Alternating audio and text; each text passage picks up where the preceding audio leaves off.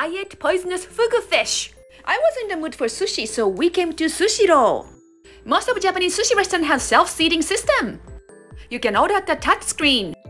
Corn mayonnaise sushi. This is one of the most popular dish among kids. Very interesting. Hmm. Get your wasabi from the conveyor belt. Now I'm gonna try deep fried blowfish. Looks nice.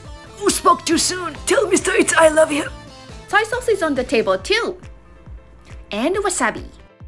Itadakimasu! I always make sure to try their recommendation. Next one is hamburger steak sushi. They said they use 100% beef. Not bad. Be careful, the giant bowl is coming. This spicy wonton noodle was very good. It's very shrimpy. Mmm. You can make your own green tea too. Pour the hot water. It was such a feast.